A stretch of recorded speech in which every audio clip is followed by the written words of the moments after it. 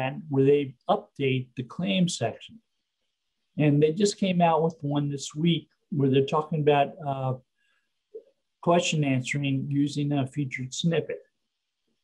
And in that one, uh, it just came out this last Tuesday.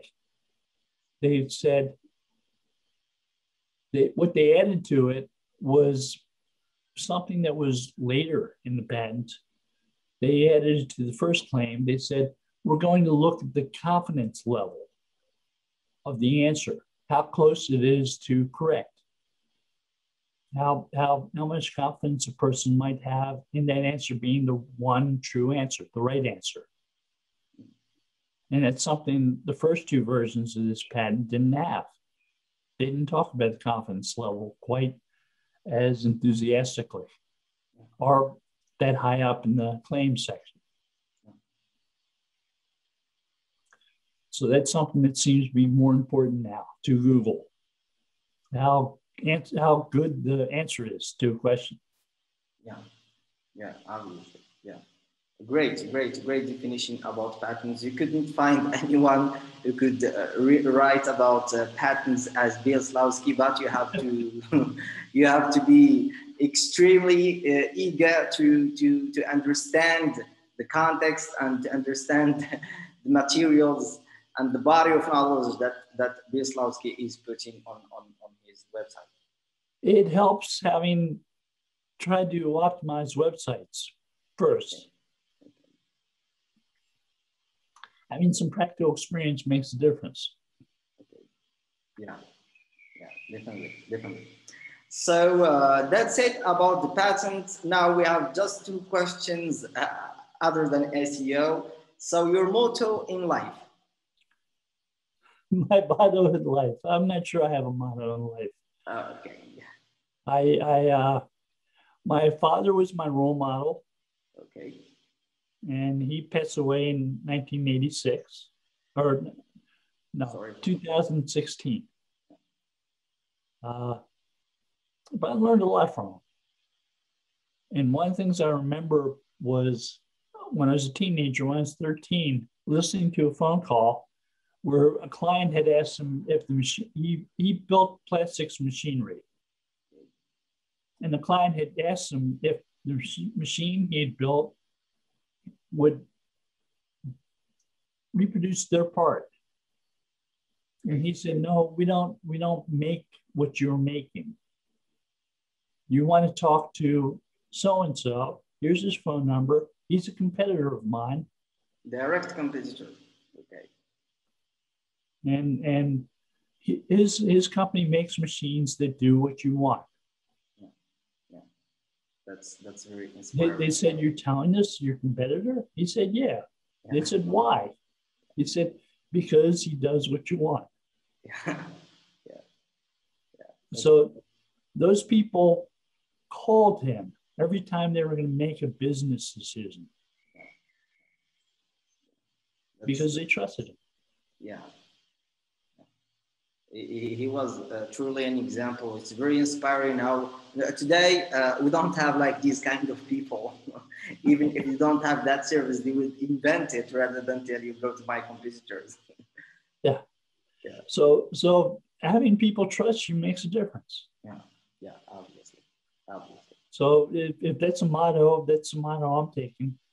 Yeah, that's obviously he might he might be uh, one of the greatest men ever uh, just to taught you this, this value. Uh, perfect. Now, my last question Have you ever visited Morocco? I have never visited Morocco. Uh, you, you had never, or you, you, you, you or I didn't hear the. I've, I've, I've been outside the United States. I started uh, going to some meetups and some SEO uh, okay. presentations, stuff like that, in the past couple of years. But last year, didn't go anywhere stayed. Yeah. I, I, live in California right now. Yeah. Uh, I stayed home. Okay. I wore masks to the stores and everywhere I went and so on. We tried to be safe, but uh, looking forward to doing some traveling again. Yeah, yeah, yeah. We would we would very pleased to to have you in our country. Uh, okay, so I, I, I uh, so I think in 2019 you just uh, visited Paris in France, France I, I guess for, for a seminar over there. I spoke in uh, the suburb of Paris of, of uh, yeah, two years ago. Okay. Two years ago. Yeah. Uh, SEO Club. Okay. Yeah. I spoke in Italy. So last year I was supposed to speak in Naples, Italy. Naples, Italy, yeah. And I was supposed to speak in uh, Kiev in the Ukraine. Ukraine, yes. Both of those get canceled. Uh, canceled, yeah, because of, of the deadly pandemic. right. I mean, it happens. Yeah, yeah, yeah. Uh, yeah. So, so uh, I, I think we would be pleased to have you in Morocco. Maybe in future we would call you for uh, a, a, a, seminar or, or a, an SEO because over here, like uh, SEO and digital is going extremely faster and it is trendy. It is new. People are now investing more than ever because of the pandemic uh, that we, we were uh, dealing with.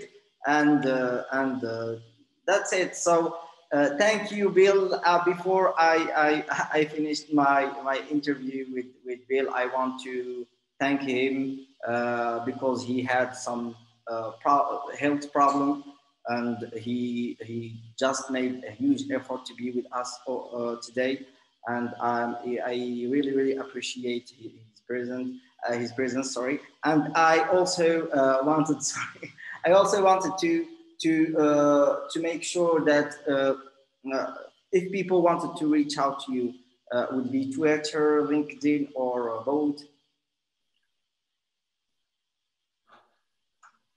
both of them tend to work pretty well. Uh, it's probably easier to find me on Twitter. Twitter. Yeah. Yeah. Thank you so much, Bill. Any word before finishing the interview?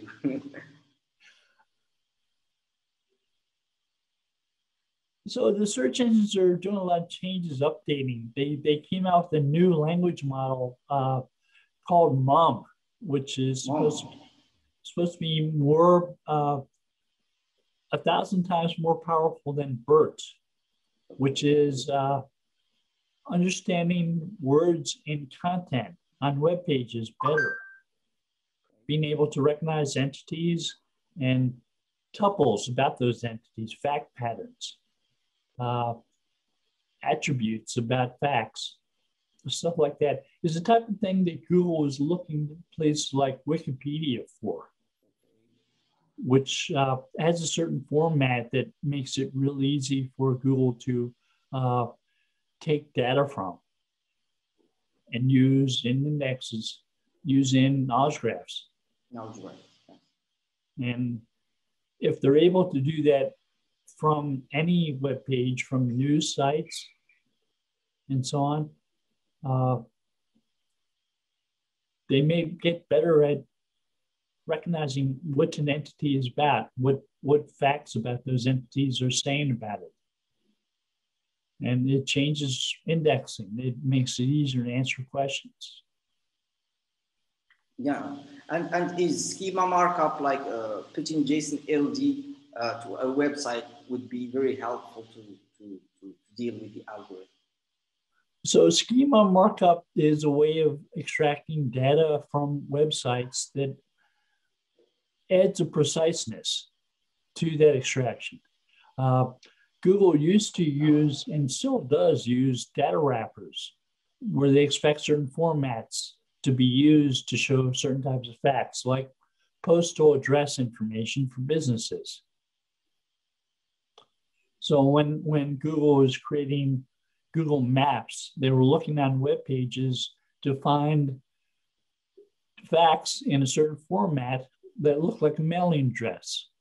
So they can identify where business is located based upon that fact pattern. And they'd use what's referred to as a wrapper to identify that format, to, to yeah. identify addresses. Yeah. Now they're using schema to find that type of stuff because it's usually based on a, a key value pair uh, description of the information. And that, that tends to be really much more precise because they're not guessing whether or not a certain thing is a data wrapper or not. Yeah. They just have the information right there and right in the script for JSON. So why, why, why uh, JSON LD and not my microdata? JSON LD is really easy for a machine to extract from a web page. It's very machine readable.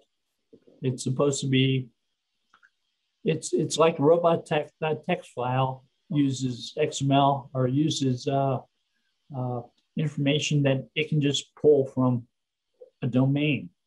Just grab the text file and look at that and see what's on there. And that tells us what we can crawl and what we can't crawl.